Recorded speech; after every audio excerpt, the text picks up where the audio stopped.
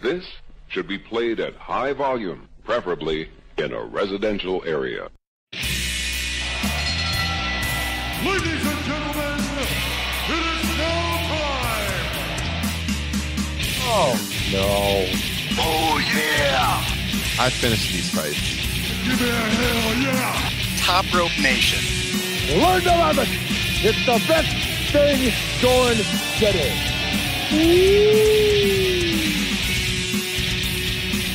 What's up, wrestling fans? This is episode 48 of the Top Rope Nation podcast, and holy hell, do we have a lot to talk about tonight. It is Wednesday night as we record this. The NXT tapings are going on, and a lot of news is broke, so I think we're going to be one of the first podcasts to break it all down for you. I am Ryan Droste of PopCulture.com, joined here by Kyle Ross and Justin Joint. And in the next hour, I have quite the list of topics to talk about, guys. It seems like in the last 30 minutes, I've just been adding more and more to the list. Kyle, what, what's your Wednesday night looking like tonight? How's it going over there in Cleveland? I'm covered in cords and scotch right now, so that's how we like it. Yeah, I'm doing I'm doing 50% good, I guess. What what a ordeal this was getting set up. The last 2 weeks, I woke up my baby girl, so I decided to take the laptop and everything else down here into the basement and it was it was a pain to set up. Plus I had foot surgery last week. I don't know if I mentioned that, so I was hobbling like Bret Hart at the 94 Rumble just to uh, get set up down here. But I'm feeling good now. Yep, I'm about halfway done with this scotch actually. Woo, a little bit more than halfway. uh, so we shall see. Seems like, yeah, the last two weeks since we've got the podcast going again, this is our third episode since we've been back. There's been a technical problem every week. Uh, and this week it was Justin's turn. So Justin's actually calling in via cell phone right now. Uh, if you have a Windows computer, you know those uh, updates they go through once in a while. Well, Justin's has been on about 9% for about the last half hour. So he is calling in to the Top Rope Nation podcast hotline tonight. Justin, what is going on? Man, what a shit show of a day it's been. First, uh, you know, I'm trying to put my son, son down so we can uh, podcast, and he's about to fall asleep, and then he decides to take a giant dump. So we start from scratch there. You know, the thing with the laptop is we're at 17% right now, and then and then my beloved Tottenham Hotspurs got eliminated from Champions League today. So I'm I'm ready to talk some wrestling and just forget about this day. Is there anything worse than a kid taking a dump in a onesie just as you're putting him down to bed, or as you get him out of bed? Either way, you guys know what I'm talking about. Nothing. You know who would love? You know who would? No, I was gonna say. I didn't know if Justin was gonna respond, but you know who would love jokes about babies pooping in onesies? Uh, Vince McMahon. Thank you. That's great. He's gonna take a shit. He's gonna shit. oh man, guys, we were talking earlier today, and this list is just growing by leaps and bounds. I thought we were gonna lead. we were gonna lead with the Roman Reigns uh, steroid scandal at one point today. Um, we were talking about Fastlane. We are talking about uh, the cruiserweight tag titles, and then as we're getting ready to record tonight, as these NXT tapings are going on, we see that number one, they unveil a new championship, the North American title, um, and then the NXT Takeover card just got shaken all to hell. Kyle's going to be at that show um, in New Orleans, where us three will convene here in a few weeks. Uh, Justin and I will be at Ring of Honor Supercard that night. But man, Kyle, you're going to get a hell of a show. What are your thoughts? Yeah, by the way, I also, I also have some other breaking news tonight. What's that? Just in, just in. Uh, Brad Shepard is reporting the sun will come up tomorrow morning. oh, there's our weekly Brad Shepard reference. I love it.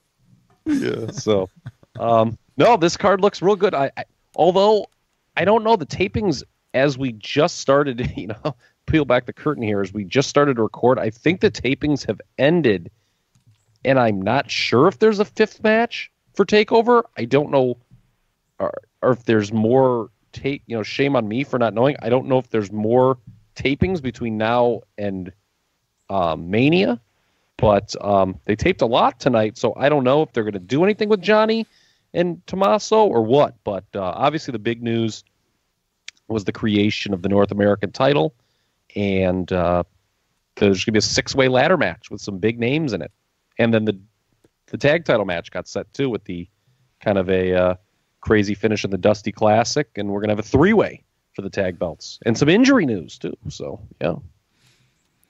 Justin, when you hear about this North American title, what are your thoughts?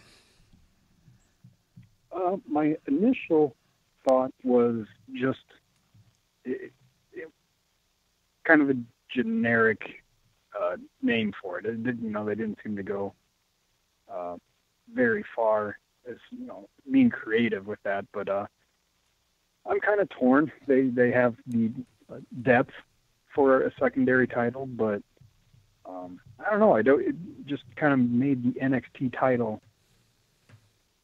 more special because it was the only singles title, you know, for the men. So I don't know. I mean, I I love uh, championship belts, you know, just from looks alone. So I'm I'm in it in that stand. Mm-hmm. Yeah, I'm, I'm kind of torn on it. Um, I'll give my thoughts in a second, but Kyle, what, what were you thinking? Well, I'm not surprised that they created a secondary title. I thought it was only a matter of time. Whether or not you agree with that, it was just a matter of time. I mean, there's such a log jam in NXT. NXT, it's so interesting how it's what it is now. I'm not sure is what it was intended to be because there's they're bringing in so much independent talent that you know Justin hinted on it. I mean, there's just a lot of people on this brand now and th- there's almost a need for it. And, and given the way WWE books, you know, it just makes sense to have a secondary title. It it kind of lends itself to lazy booking because now when you look at it, every takeover card, okay, if they're going to be five matches, well, you got four title matches, mm-hmm. and so you know, I always kind of liked that one singles match on the takeover card that wasn't a title match. But um, looking at the participants, I mean, this match could tear the house down. It could be the match of the night, match of the weekend. I don't know. Um, but you know, well, you it's know, you ahead. bringing up, you know, you bringing up how it's you know normally five matches, and that's a good point. Like they're all basically going to be title matches now. It's actually my my second thought when I heard about the title was that I, I think we're going to be heading to three hour NXT special soon. Yeah, and I, I yeah I can see that because two hours always leaves you wanting more, but it's just inevitable. I mean, that they're going to go three hours. I mean, especially with the amount of it's going to be interesting to see who they get, who they who gets called up post Mania too. Yeah, they they've been going over two hours by quite a bit recently, haven't they? Haven't they been Yeah. going like two and a half? Yeah. Yeah, and it, it feels right. Yeah, um, yeah, about I wouldn't know if it's two and a half, but um, you know, it's it, they've yeah they- they're not held. Obviously, you know that's the one advantage to having the network instead of pay per views. You can just kind of go over the the limit, so the two hour mark. But Yeah. yeah, we, I guess we should talk about you know the the guys that are in the match because uh, you know two really big names. Uh, you know, EC3 and Ricochet are going to be in there. Uh, EC3 sort of, I guess he technically debuted. He made an appearance at the last takeover, but he showed up, had a confrontation with William Regal at the tapings tonight, and that's when Regal, you know, had announced that there would be a North American title, that EC3 would be in it. Ricochet will be in it. Uh, Velveteen Dream will be in it. Killian Dain, Lars Sullivan, and Adam Cole is your lineup in a ladder match for Yeah. the, the for the North American title. Which, by the way, it'll be interesting if they try to hitch any lineage to the old North American title of the WWF. They probably won't, but um, you know, I actually just watched some All Star Wrestling earlier this week with Ted DiBiase holding the North American title. Something tells me that will not be mentioned. Probably not.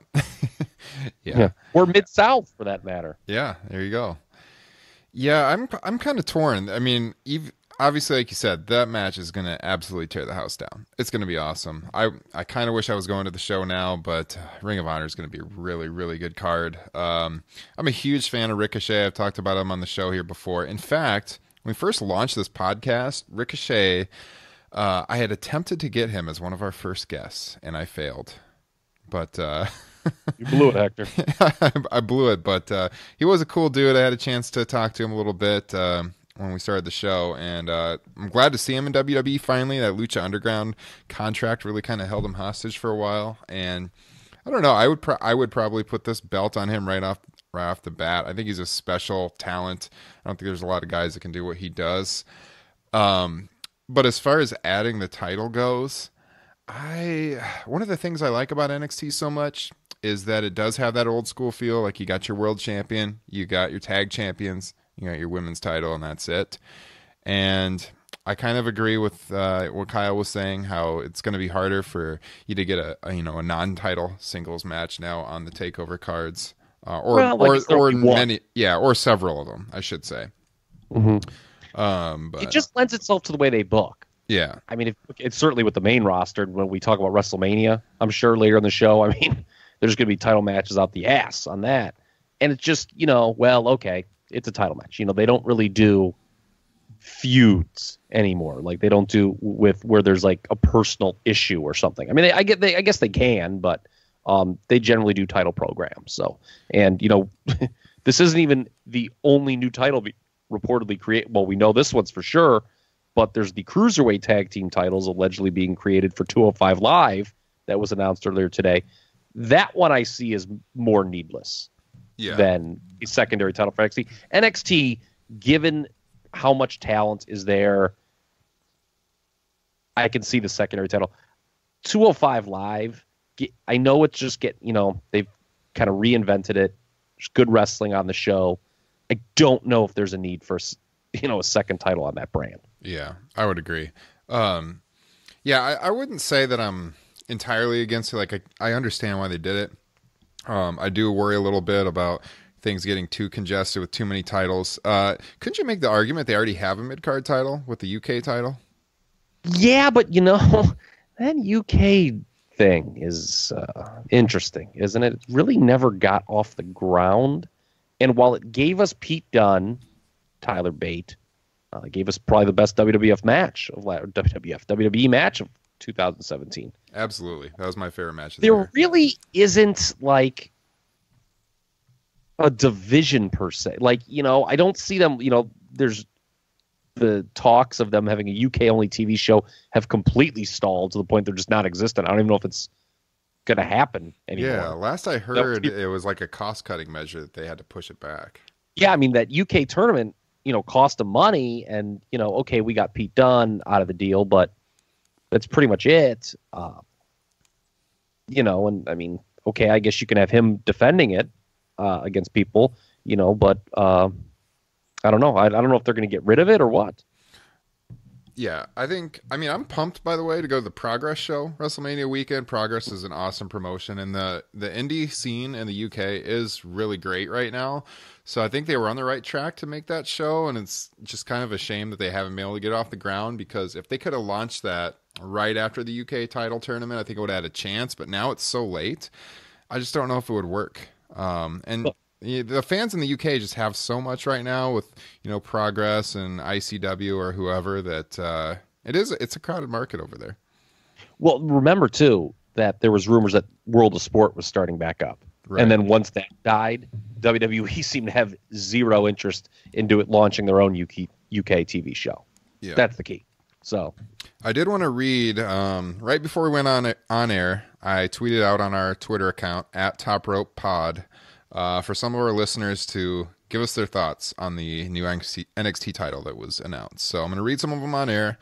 Uh, follower Aaron James said, "I love it. They've needed a mid card title for a while now, kind of along the lines of what we said." Uh, our buddy Derek Schropel over there from the Oversell podcast says, "Great move. NXT knows how to use their champions correctly."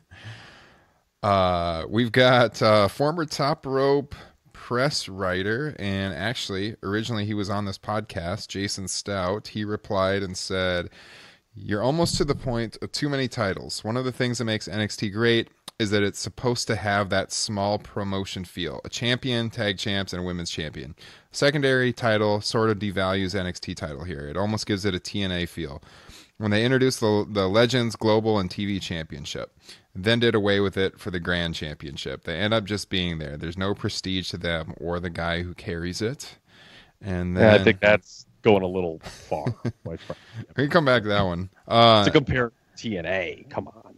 And then we've got 3G on Twitter. He says he's responding to Jason. He says, plus it's a one hour show and the UK title is also used. So five males with championships if you count both tag titles or both tag champs on a 60 minute show is a bit eh. I wonder if they're going to merge the North American and the UK title. I really do. Because that's an, a good point with the UK title. They could have just made that their secondary title already. I mean, because there was no place for Pete Dunne to really work except NXT. Mm-hmm. Um, now it's interesting too. By the way, we should have probably you, you, you know how those anti-spoiler crowd types can get sometimes. We should have prefaced. God. that. We were- I guess I guess we kind of did, but uh, you know more spoilers. I guess if you, I guess if you hate spoilers, you've already thro- thrown your computer and are cursing our names. But These You know, Pete guys. Yeah. yeah, Pete Dunne is working in the tag title match on Takeover now. Right, and that so that's interesting uh, because they had announced Adam Cole for the ladder match just a few minutes earlier, and then at the same tapings, Adam Cole is added to this triple threat triple threat tag title match. So now the big talk is why would they announce Adam Cole for the ladder match and then put him in the tag title match for Takeover just a little bit later at the same tapings? What the heck is Adam Cole going to do? J- Justin, do you want to see Adam Cole work twice at NXT Takeover? Yeah, more Adam Cole the better. Well, I don't know about Put him, that. put him in the title match. So here's the thing, though. If people haven't been following, Bobby Fish got hurt over the weekend, and so Cole is working the tag title picture out of necessity with O'Reilly because, as we know, it was supposed to be the Dusty Classic winner against Undisputed for the tag titles at Takeover. Fish got hurt, and rather than strip him, I guess they're just gonna have Cole and O'Reilly defend the tag titles and then they did an angle where they interrupted the Dusty Classic Finals, which was AOP and Pete Dunne and Roddy Strong, and now it's going to be a three-way at Takeover with Undisputed, AOP, and Strong and uh, Dunne, which is an interesting matchup Yeah. because it kind of, I guess, cancels the idea that AOP would challenge the Bar for the Raw Tag Team titles, which was my which I, I you know I'm not alone was my idea um, for a topic we're going to have later. I don't. I think this is the most NXT talk we've ever had on a show, guys. We're almost 20 minutes in, and here we go. NXT is just tearing it up right now. Justin, The other interesting thing about uh, Strong being in that tag title match is he's also currently in the 205 Live tournament. Yeah, that's- that's true. Be on the Mania card. Yeah, and does that tip their hand that he's losing to Cedric Alexander in the semifinals? Because that one I saw as a toss-up. You know, I, I, I'm pretty sure Mustafa Ali's beating Drew Gulak in the one semifinal. I could be wrong, but uh, that's who I'd bet on them putting in in that half of the final. Uh, so I don't know. It could be. It, we shall see. I mean, he can work twice in a weekend, and AOP could work twice in the weekend if they make him like a mystery team or something like that. Um, you know, against the bar. every week lately, you guys talk about this 205 live tournament. I always think after we record, I'm gonna go turn it on and catch up. You guys are raving about it. I still have not seen a minute of this tournament. If you love good wrestling matches with no crowd heat, then 205 Live is the show for you. I feel terrible for those guys, man, because they're working their ass off in front of people who are just leaving the building.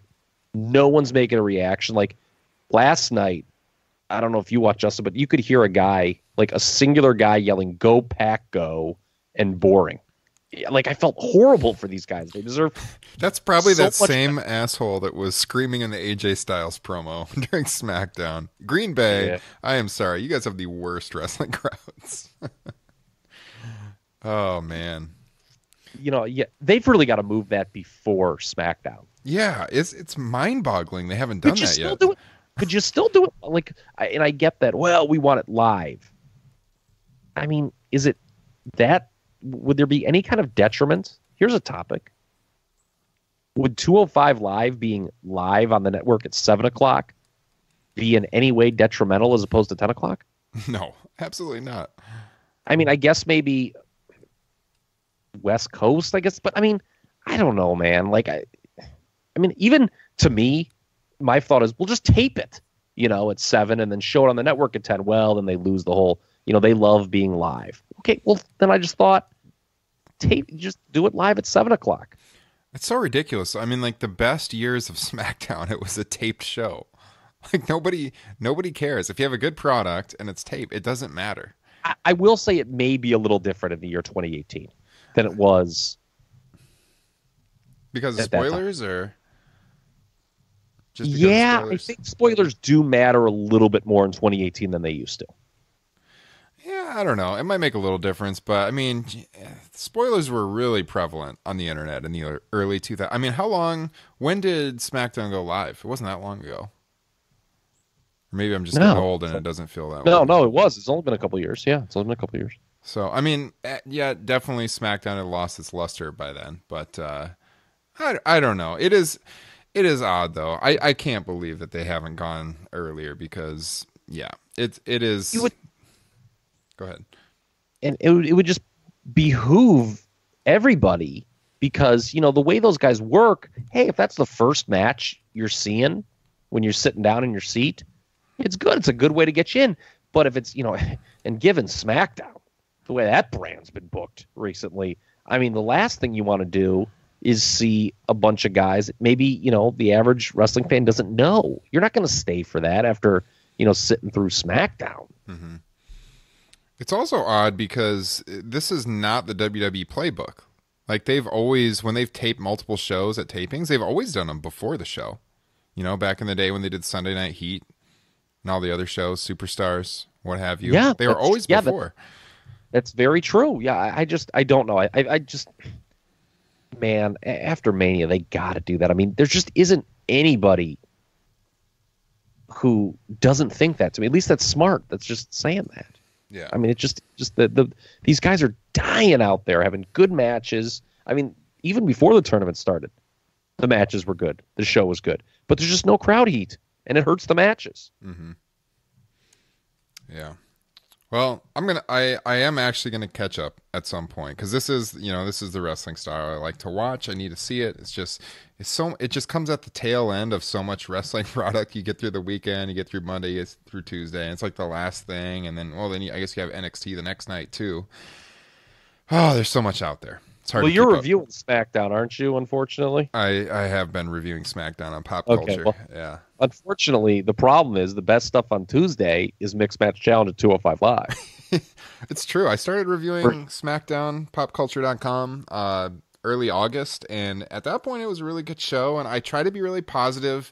You know, I'm not trying to be a negative wrestling fan, regardless of what you might hear on this podcast sometimes. Like, I'm really trying to enjoy the positive aspects of the show. I've talked about this with my friends recently. And uh, SmackDown is making that really, really hard. And uh, Kyle, you alluded two weeks ago to the writing team on SmackDown, most notably Mr. Brian James. yeah. Well, well, yeah. I mean, it, it's. I mean, ever since he kind of, you know, became the head, it went down the pooper, man. That's I true. Man, that it- show is so stale. Last night was just a slog to get through. You had that AJ it started match. out okay. It started out okay, but I just. We'll get to our Fastlane picks soon, but Jesus, I can't think of a show that I've looked for, especially a main event of a show I've looked forward to less. Yeah, we didn't even know it was the main event. Like AJ comes out, it's like barely past the top of the the uh, second hour, and then then it turns into like the dry run for the six pack challenge without John Cena. Uh, I mean, it did start out okay, I will say, but then you have Randy Orton in the opening match, and then you kind of lose me. Not a lot of excitement there. Speaking of which, check out our archives. There is a show titled Top Rope Nation, the one where we bash Randy Orton. It's a good one. Last spring. I just feel that we watched every Randy or every Randy Orton Jinder Mahal match was last night. You know, they like how many times have they done that same finish where like Randy kind of gets distracted, he eats the Khallas, and it's over. Throw the Singh brother on the table with no regard. Yeah. like the same oh, well, but that never gets old. That never gets old. Uh, guys, you know, I gotta say, I failed at the hosting gig. I was so pumped tonight to talk about all this NXT news. I forgot to do the usual show open. By the way, if you're listening, we are now on Spotify, which is really awesome for us, opening up a new crowd. So you can check us out on Spotify. Leave us a rating on iTunes. As always, we are on Stitcher Radio. Uh, I'm trying to get us on TuneIn Radio. That hasn't gone through yet, though. Uh, you can see us on Podbean, TopRopeNation.com, of course. Follow us at Top Rope Pod. And uh, yeah, pretty much anywhere podcasts are found. The Google Play Store, we're there too. Uh, God, where do we want to go next here? Rey Mysterio? We want to talk a little Rey Mysterio and his injury? I have a, I have a theory I'd like to throw out, All right, let's hear it, Kyle. and it was actually conf- so I wrote that to you guys. What last night or this morning? I have a theory about this Rey Mysterio Justin Barrasso article. Yeah, it was this morning. Okay, well, I've what I my theory has only been confirmed by so Barrasso got an interview with Cena on Sports Illustrated. I don't know if you guys saw that earlier today. It was published. Mhm. Do we think? And you know, I'm not. You know, I mean, if I'm wrong, I guess I'm an asshole for suggesting this. But you know, I'm an asshole anyway. So, but and if the if the guy, you know, whatever, man. Hey, we're all making trying to make a living. I, I'm not going to besmirch the guy if this is the case. Do you think that that Ray story was something he was doing working in concert with WWE to throw people off the scent of whatever they're doing with Cena, assuming it's Taker or whatever else? Justin, what do you think? Uh, I I would think it would be WWE intentionally giving him false information. I, I don't. I doubt that they're like, hey, we're going to give you false information. You need to put it out there like it's real. I think there it'd be more along the lines of he would assume it's good and it's not. Oh, but- so he's just like kind of a stooge. Hey, we're going to tell this guy the wrong thing, and well, so I don't know. See, to me, I think there's like some under the table handshake agreement here. Hmm. Like, help us feed this story, which isn't really true. I think don't a lot of people think uh, that uh, Barrasso's just kind of getting worked by the WWE? Like he's had several stories that uh, haven't really panned out in recent months. I don't know. I kind of lurk on some wrestling message boards, and I, I see people bashing him all the time for being like wrong on stuff. I haven't I haven't followed his work closely enough to know if that's true or not. But, uh, But the the, Rey Mysterio thing always seemed a little off.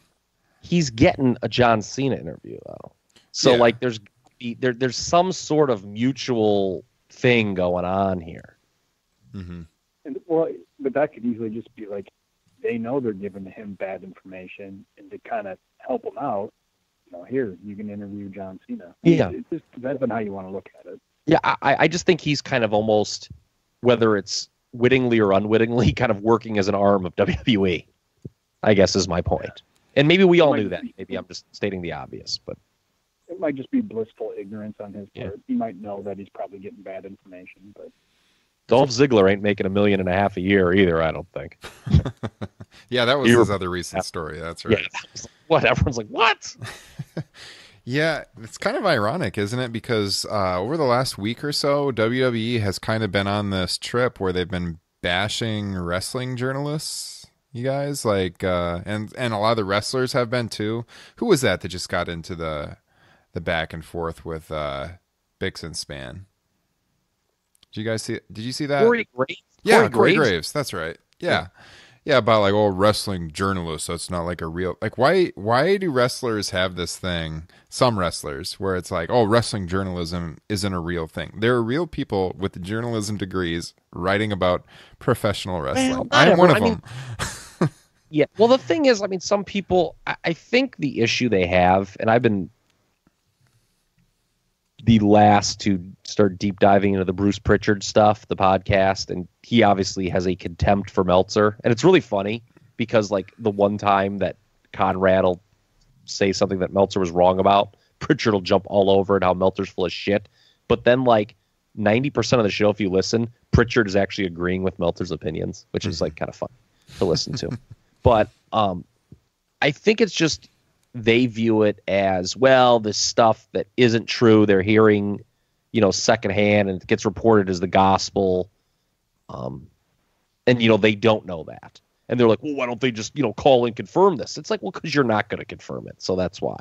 Um i can see why. There are some people who don't do a good job but there are other people who do a good job and it is kind of silly. Yeah. So so we're saying Barrasso might be like their guy that they go to to, Well, to he- I- I think- I think stories. Um, yes, I believe he may join the immortal Sam Roberts and Peter Rosenberg among the co-opted media. Oh man, those two. Yeah, Sam Roberts denied that he was getting the the gig with WWE because of an inside hookup for a long time, but uh, I think it's pretty clear that's the case. And And uh, I don't, you know, I don't hate the guy. I no, mean, I know, know, but it's Yeah. just odd that he would deny that's why he got the spot. Which it's obvious that's why he got the spot. Good for you. I mean, that's how that's how stuff gets done in any part of the business world, right? Like you get jobs through through contacts.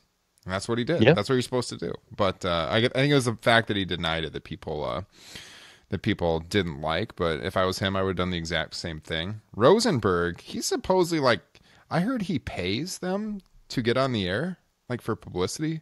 I don't know if that's true or not. Someone was speculating about. That. I've seen multiple people saying that. WWE's getting WWE's getting a raw deal out of that. I don't know what the I don't know what the true story is there. I I just heard that relayed by a few different people, but. Uh, Oh, you journalists. Yeah. oh man. So Rey Mysterio is clearly not going to be wrestling John Cena. So Justin, your dream is alive for Taker and Cena in WrestleMania 34. How do you feel about that? Oh, please, sweet baby Jesus, let it happen. See, Take another funny, drink of that scotch, buddy. It's going to happen. I- I'm in that same position with wanting Gargano and Ciampa at the takeover. Like that's the match. Like just because like I bought like my these you know my group that's going to New Orleans. Um, you know these guys that I'm flying down with from Cleveland. You know four of the guys are going to the Ring of Honor show, where you guys will be at, and me and my one real good buddy we're going to takeover. And they're like, "What the hell, man? You got to go to Ring Honor, man." I'm like, you know, I want give me jo- uh, Johnny and Tommaso, man. That that's all I want. And there's a chance maybe it's not going to happen now, but uh, man, I'm hoping because there's it only seems like there's four card matches set for that card. So I can't But- believe they wouldn't do that match. They have to do that match.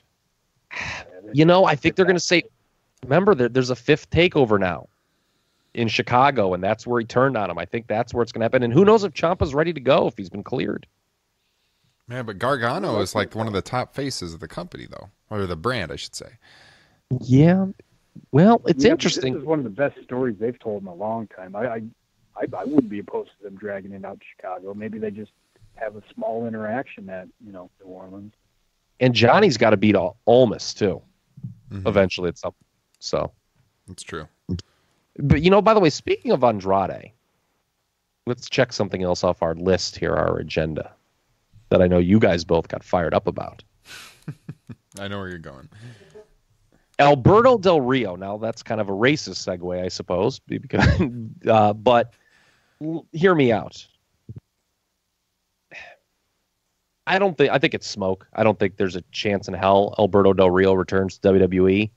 But one of those reasons is you got Andrade Cien Almas down there, and with Zelina Vega, I just don't. Again, I know it's like, oh, you can't have two Mexican heels on the same brand okay.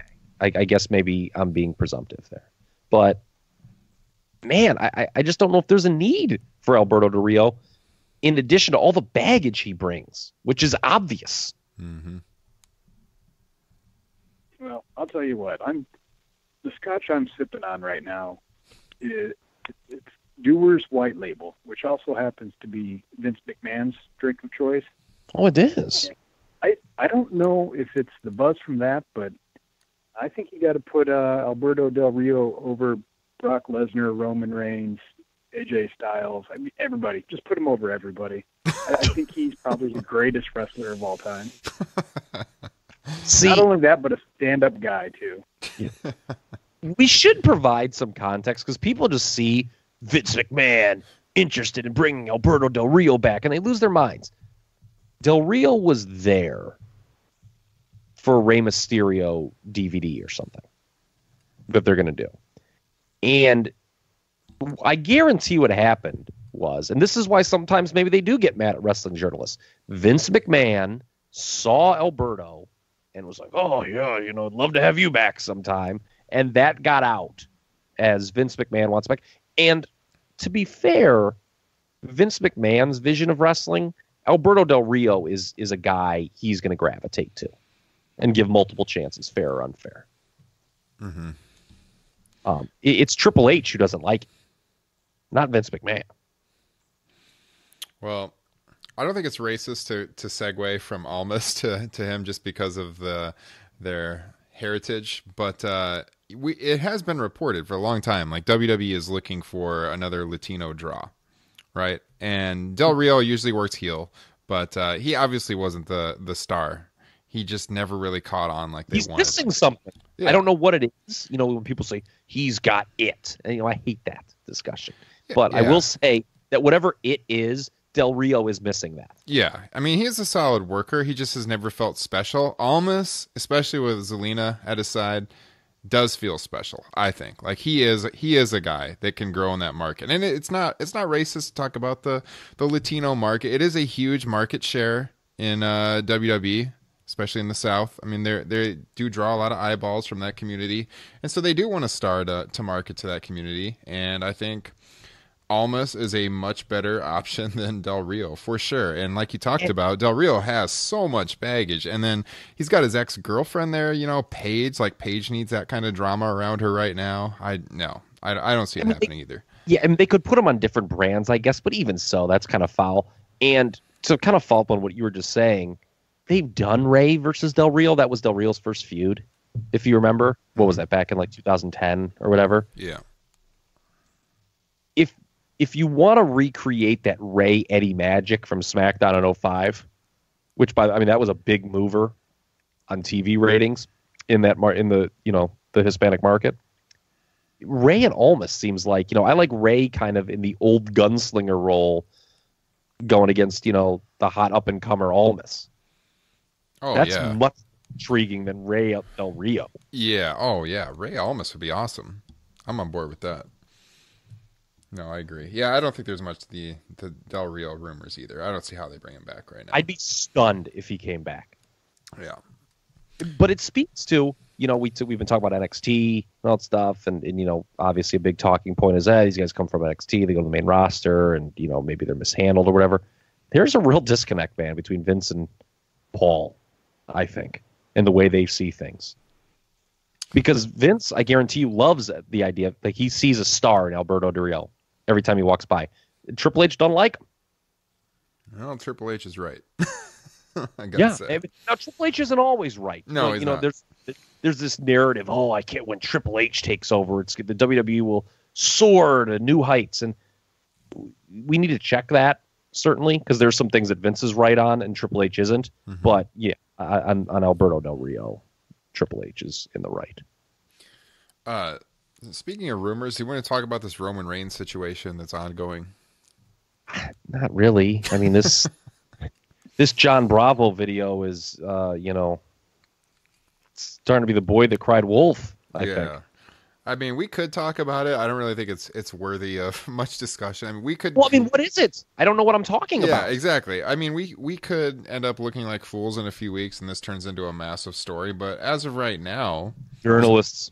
It's nothing to talk about. Uh, there's not a lot of credibility to the story right now. There really isn't. Now, maybe he'll come forward with uh, with something that'll that'll break, and they'll have to alter the WrestleMania card. That would be terrible, but it, you know it could happen. But uh, I don't think it's likely. And didn't he like delay the video he was gonna release or something this today? Didn't he announce that today? Yeah. Yeah, it was supposed to be released today, and then it's been delayed because, you know, quote, there's, you know, he just really wants to get this story right. Oh God, of course. Come on, come on, man. You're not doing much for uh, your reputation right there. No, I don't. I don't think there's much to talk about, but I know some of the the Roman Reigns, the anti-Roman Reigns crowd, probably wants us to talk about it. But uh, right now, yeah, not much to talk about. So, uh, what should we go on to next? You guys want to talk about Raw, or do you want to go right into Fastlane? Justin, what do you want to do? Probably do some should probably do some predictions, don't you think? Yeah, let's throw that out right now, and then we'll hit some other topics in a little bit. Well, can we just talk about one thing with Raw? Yeah. Or I guess like Raw going to Mania, because, you know, we talked about the top of the Mania card a lot last week, Mhm. and, you know, just looking at the undercard. Who is challenging challenging the bar at WrestleMania is one of the more intriguing things they've got going because Authors of Pain to me was the slam dunk idea, and I don't think it's happening. You know, PW Insider reported, quote, it's going to be a team that isn't a team right now.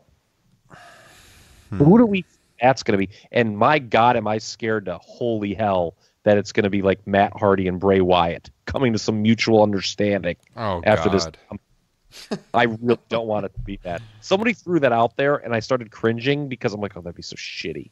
And I'm like, oh god, it could happen. Because who else could I? Who else is kind of like not doing anything that you could see in that role? there, there really isn't anybody. I, I've racked my brain. I mean, they've got you know a ton of guys on SmackDown that are just kind of twiddling their thumbs, but when it comes to Raw, and- and you're Everyone's kind of looking at- accounted for. Yeah, and it really only if it really is two guys that aren't a team right now, the only two it could be is Bray Wyatt and Matt Hardy. And frankly, I, I'm on the opposite. I- I'm still willing to give this a chance.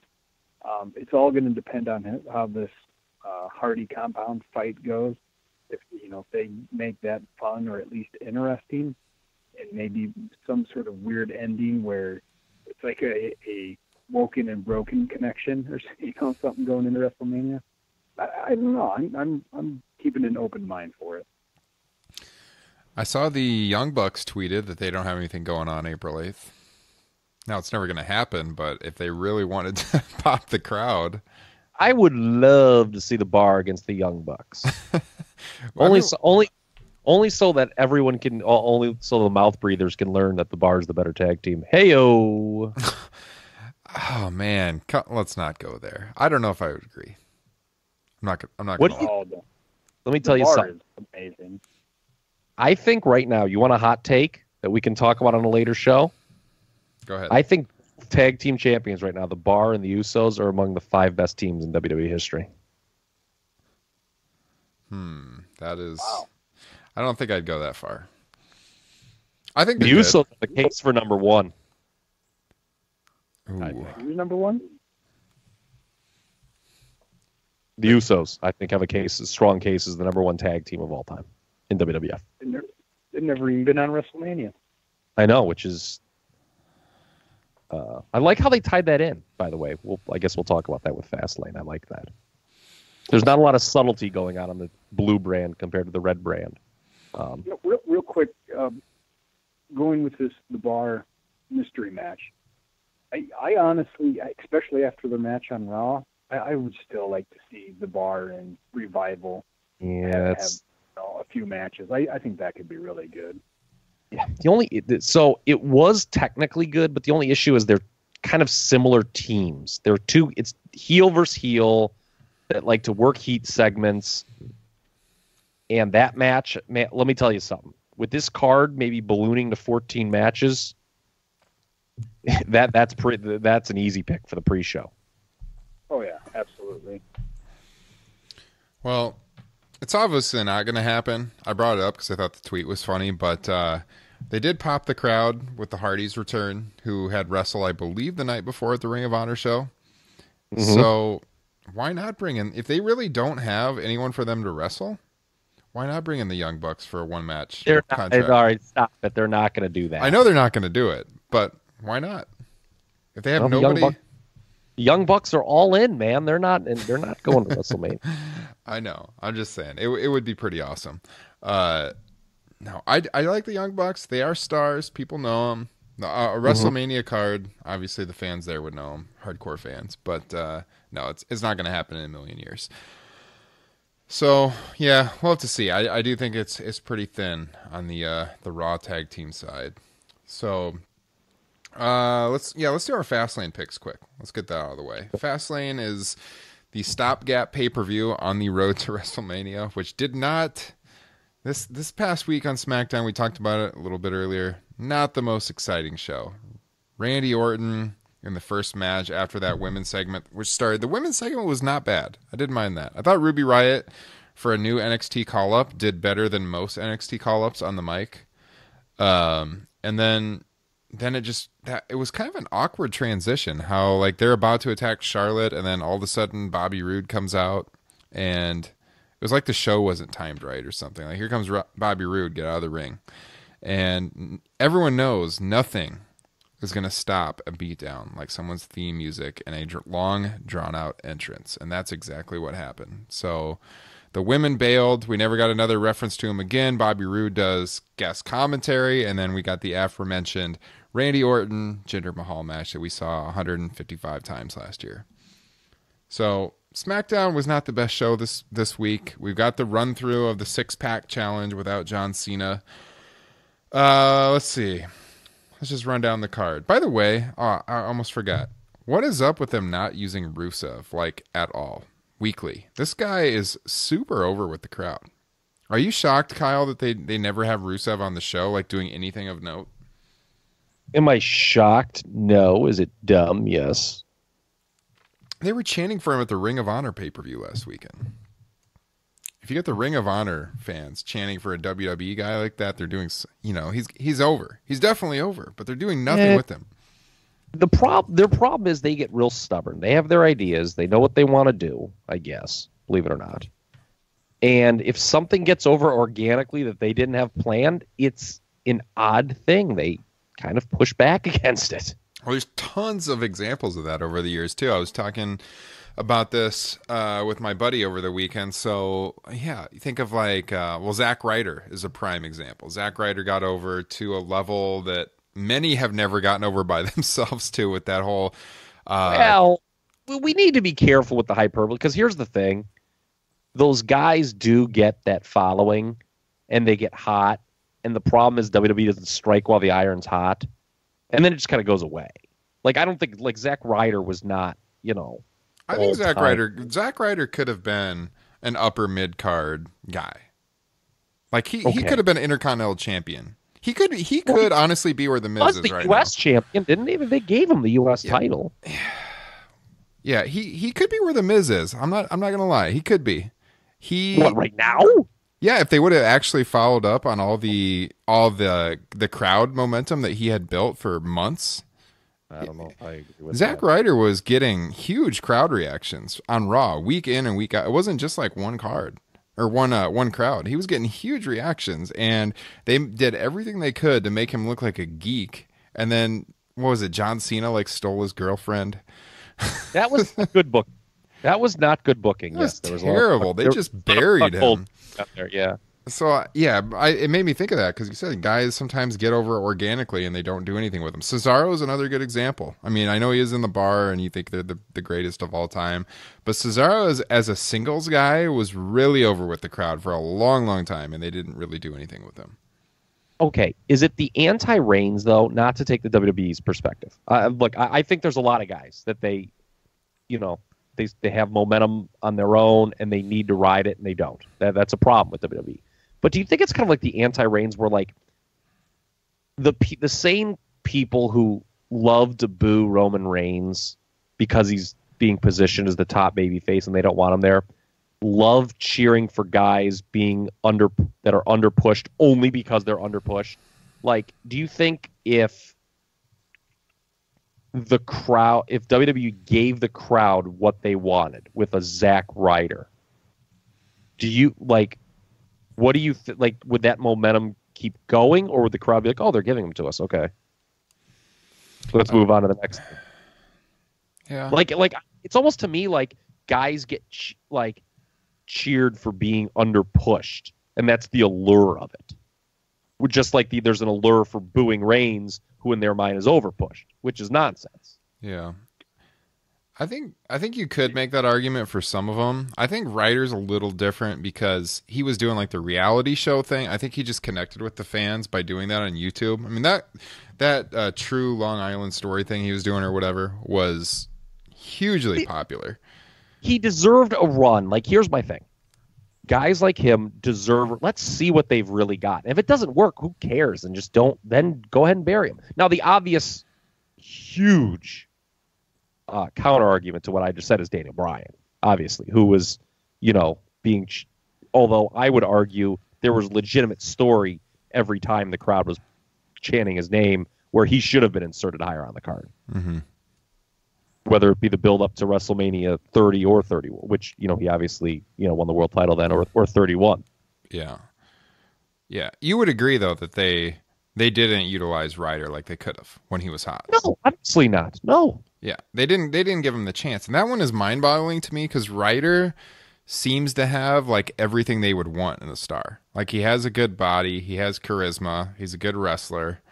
He's not. He's not like you could argue with Cesaro. He's really dull on promos, right? Zack Ryder's not. He has a ton of personality, and they didn't. They just. It was like they went out of their way to make him look like a geek right away.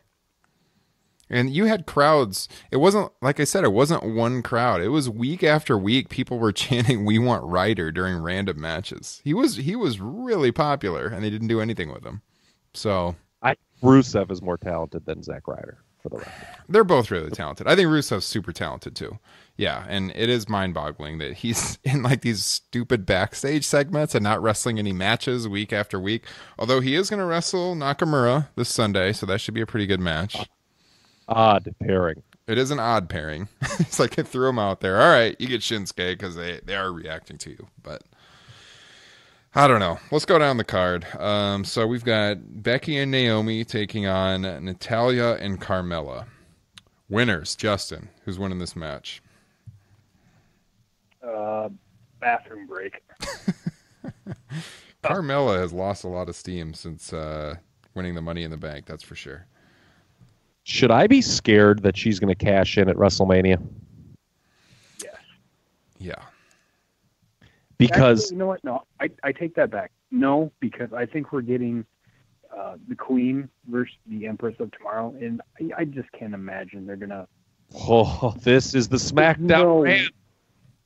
uh, There's no way they fuck with Do do either one of do those. Oh, you didn't know? Oh man. I, I could look. Look at the way they had her win the Money in the Bank briefcase. I know you two, like you know, were ready to call, you know, you know, the top women's rights attorneys in the country. Oh, I did. After- I did call them. you, you ought to been you were ashamed you should be ashamed of yourself for the way you reacted to that because let me tell you something she had heat back then um and i'll say this if they want to give any heat to carmella i guess that's because she's dead in the water ever since james ellsworth left i mean dead they really needed in retrospect to have her cash in that thing right away because she is just dead in the water hmm Well, I mean, that's because James Ellsworth he had that Zack Ryder following. I mean, anytime you get rid of that, Well, it was no. James Ellsworth was a good territorial era style heel. I like. I miss James Ellsworth. I miss James Ellsworth. On my part. I have no idea who's going to win this match. Uh, it doesn't really matter who's going to win this match. I'll just go with Becky and Naomi, I guess. Yeah, I, I can see who, them redoing the match on Tuesday and 50-50 booking ensuing.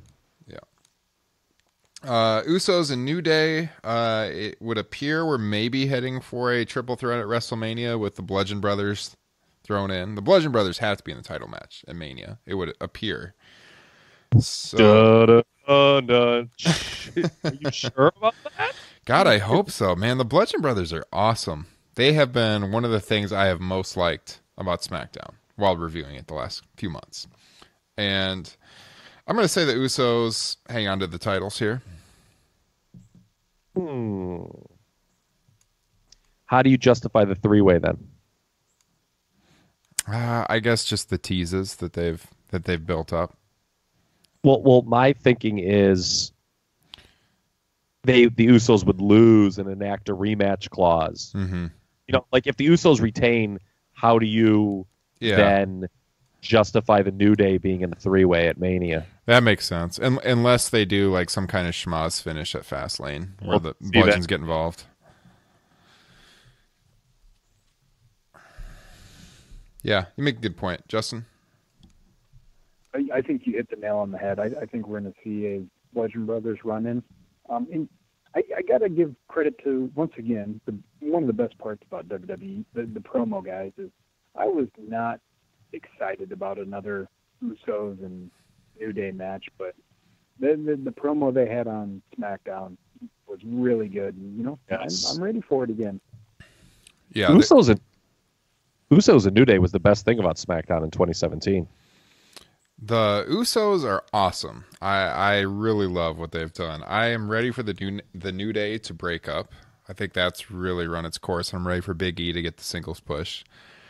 Uh, but yeah, man, the Usos. They, I, it's. I think I tweeted out a few days ago. It's hard to believe we, when you look at them now versus like the neon color wearing fan favorites that it's like the same team. They've evolved so much and improved so much since then. Just the characters in general are a lot more entertaining now. They were always a good team.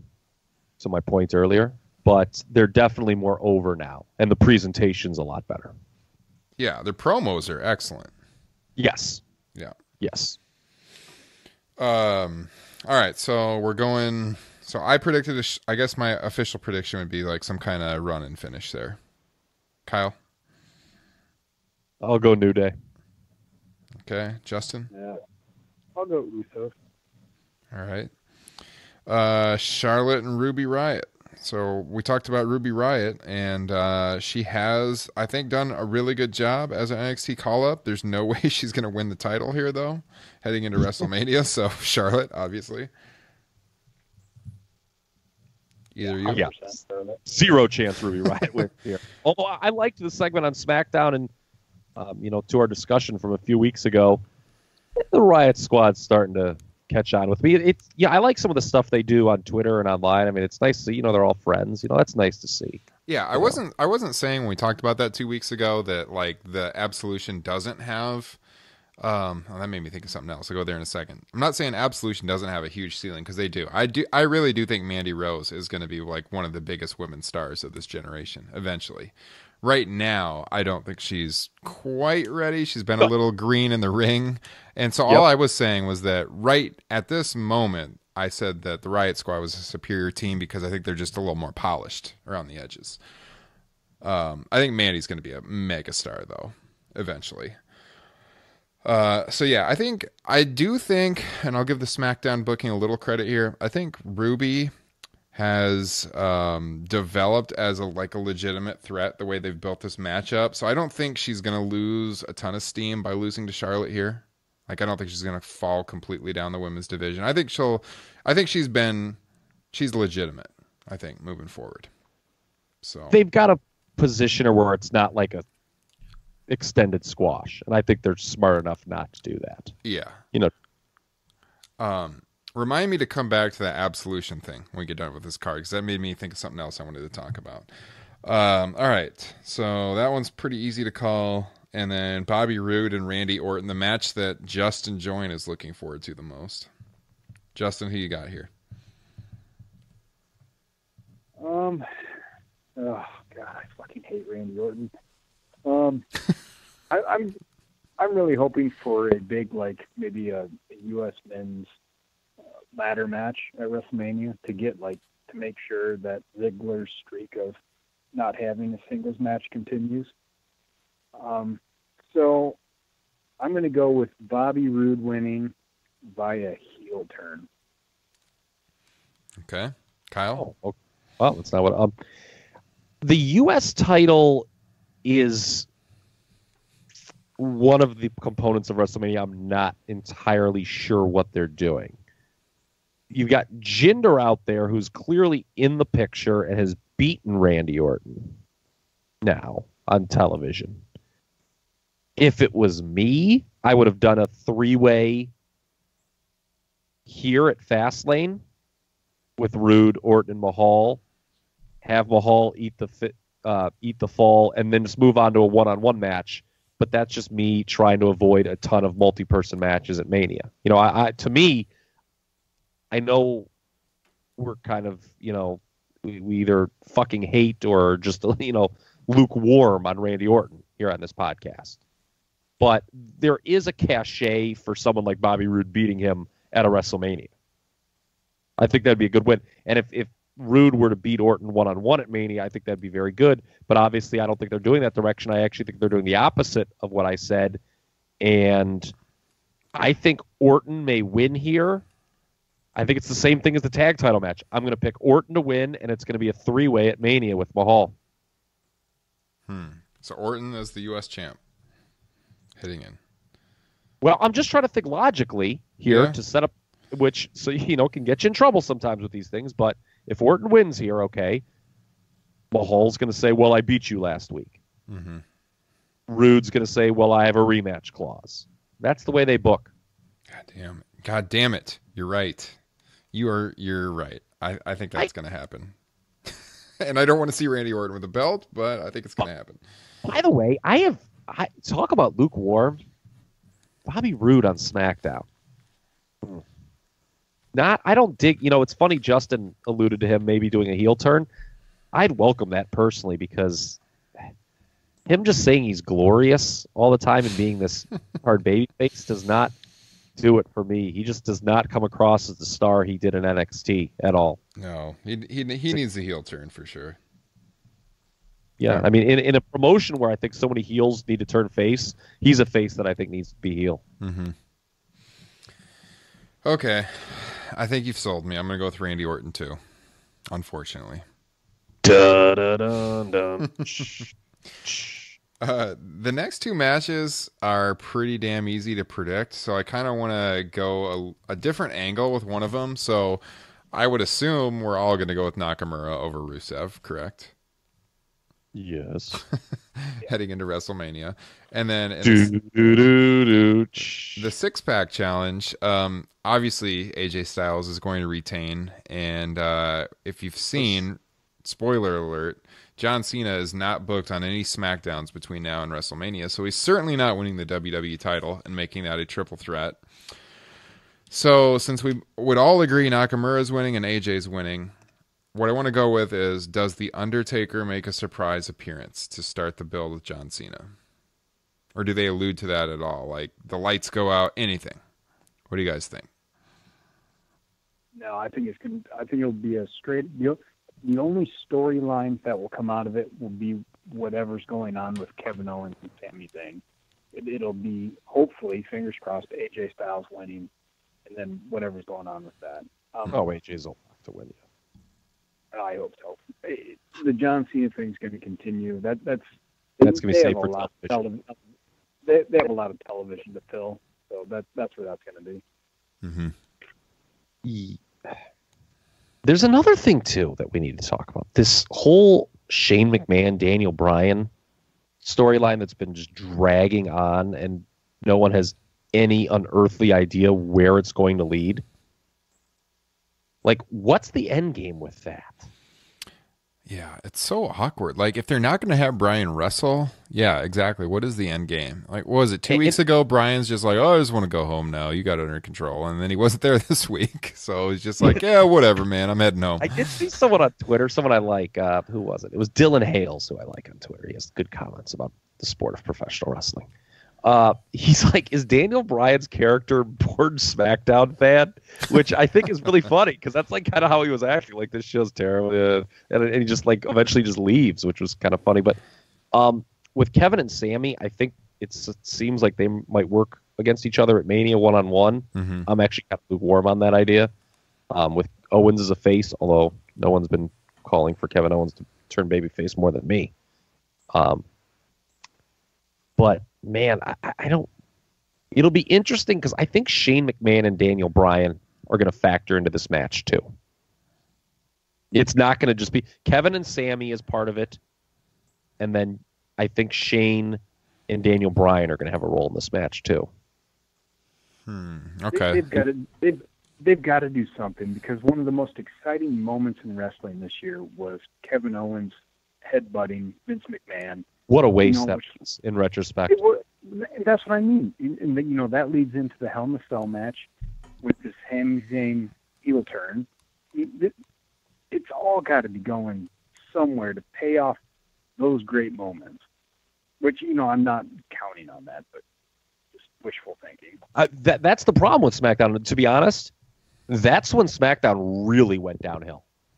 Was that stuff? I mean, if if the end game is Kevin Owens just turns babyface, and look, like I said, no one's been advocating that more than me. You guys can confirm that. Okay? But what a waste of bringing Vince McMahon on television that was. Yeah. In all time waste to have that. I mean, this the Shane McMahon feud with Kevin Owens and then now Sami Zayn is one of the worst major feuds the WWF has ever done, in my opinion, in a main event position. So, are you suggesting this could be a deal where, like, uh, babyface Owens has Bryan in his corner with Sami versus like Shane in his corner, kind of thing? Maybe. I mean, I don't know. I mean, are they going to factor something in with Cena? I, I don't know. I, I, I just, I do not know at all. I just, I just don't get how they've run this storyline for so long, where you have a heel team feuding with babyface authority figures. That's bad. Mm-hmm. Like, and, and, and the heel team, no one wants to see them fired, which is like an issue. Yeah. Well, So, one uh, thing that we do know is it looks like Daniel Bryan's going to be leaving the company and wrestling elsewhere this fall. Because if he was actually wrestling at WrestleMania, don't you think we'd know by now? Yeah, I mean, if not, if I not, mean- they've they've really done a hell of a Well, job no. keeping this under wraps. he's not going to wrestle. They have too much stuff planned for WrestleMania um, to bring him back. But I don't think that it necessarily means he's leaving, just because he's not going to be on Mania. Well, that was know. that was that was his own words. He said if he wasn't cleared for WrestleMania, he's gone. Well, then I guess maybe he is gone. Then. Unless I don't they know. promised him what. like a major major match at the next show. Who knows? Yeah, go ahead, Justin. I, I was just going to say, uh, if Cody Rhodes and Young Bucks want to actually make that ten thousand, uh, you know, crowd capacity, I, they better hope that Daniel Bryan's leaving. Well, the only thing that I, I, that's before. See, that was that was a key date when they announced that. hmm That's his contract doesn't run out to when October. Yeah, I was thinking October. That shows in Yeah. September. Yeah, so he can't even do it. You yeah, that, that- that's. Yeah, you know they're going to be pushing hard on the CM Punk thing, though. Mm-hmm. Yep. Be, I, I did want to mention one more thing about Fastlane. I think Nakamura Rusev is atrocious matchmaking. Absolutely abysmal. She's like, oh shit, let's just throw these guys together, whatever. Now- these are two of the best guys on your brand. it's it's not just that. I want to double back to your guy's point about Rusev. Okay, so you've got a guy who's kind of getting organically over, right? Mm-hmm. And you're going to put him against the guy you're positioning as a top babyface. That's the last guy that Rusev should be working against. You're right. Like he's going to kill his heat. Yeah. Well, because Rusev's well, I don't know about kills he, but Rusev's not going to win. I mean, I guess the crowd will be into it, but you know, the whole allure of Rusev is the crowd's getting into him. You know, Mhm. they want him to be a baby face. Yeah. Well, he's not going to get cheered that much against Nakamura. Yeah. All No, I, I mean, ask is that they could just bring Rusev out on a tank once more. Do it again. One of my favorite WrestleMania moments of the last few years. Oh, that was great, yeah. But unfortunately, it's kind of been all downhill since then. yeah. No, I agree. Terrible booking. It really has, actually, to be honest with you. It really has all been downhill since WrestleMania 31. Yeah. It's actually been. I mean, that when when they got announced that engagement to TMZ, that's when it really, you know, they. I, I don't think they've forgiven him in the office for that, which is the silliest damn thing of all time. That's true. Um, before we go, I did want to mention I, I said a ge- a second ago about absolution. So on Oh. last week's show, uh, I had told you guys we were talking about Bayley. I pushed the clip on social media the other day. If you guys saw that, I'm trying. I'm trying to get like little snippets of our show out there, so maybe people that don't listen to the full show like hear a little snippet and they think, "Hey, we gotta listen to these guys." Because I do think we have a really good podcast going here. So if you guys are listening, tell your friends. You know, tell one or two people check the show out. I think they'll like it. But I was, I think I sold you guys a little bit on the Bayley heel turn uh, idea, so you probably know where I'm going with this. Wouldn't Bayley be an awesome addition to Absolution? Now that Paige can't work. Fantasy booking alert.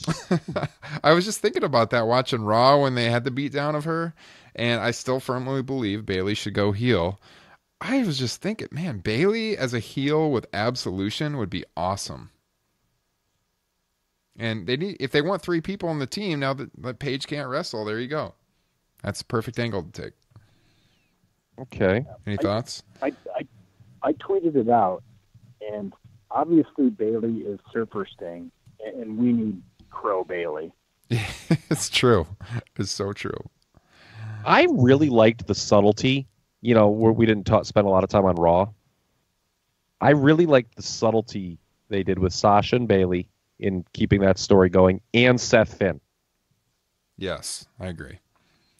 Th- Yeah. th- those were done. I thought I thought you know a lot of people I, I saw after Raw was over. Eh, this was kind of the one of the weaker Raws so far, 2018, and, and maybe it was. You know, certainly in ring it was, but they know where they want to go for Mania, and you kind of have to have these shows now where it's just you know it's a lot of talking and you know kind of going deep into the angles, and and you know in the case of, of those two, you know the, we don't get a lot of that um, through the years on W- WWE with you know subtlety in in undercard programs, and that was welcomed for me. hmm Yeah, I would agree. That IC title match is going to be really, really good. I think Miz is winning though, given how they've booked it. Oh, there's no way he's winning. He's having a kid. I think look, they're beating him like a drum.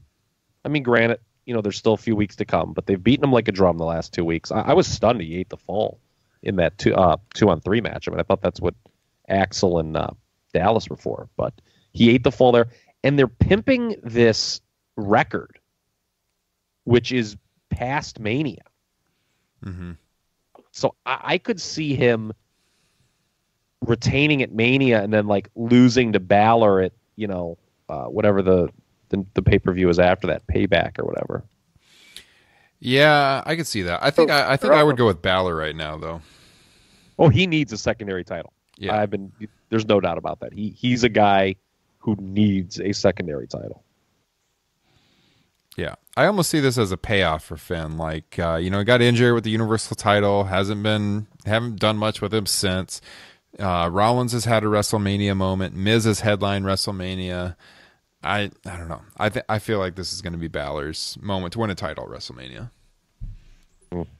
We'll see, though. It is interesting. I can see that going several different ways.